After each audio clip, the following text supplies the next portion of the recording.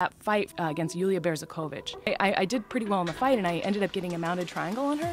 Uh, so they grab us, they put us on this bus. I'm still in my fight clothes, I still blood, and my gloves on. And they take us to this palace in St. Petersburg, and it was beautiful, gold damask and silk, and just I'm in fight clothes, and I'm like, what is that smell?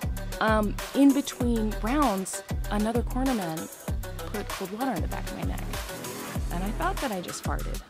Turns out, and this poor girl, mounted triangle, no less. I end up, you know, going to the restroom looking, there's just shit caked all over. Oh. How did I shit myself? It's like Berlusconi was like hitting on me, and, and I smell like shit. Like, you are a dirty motherfucker.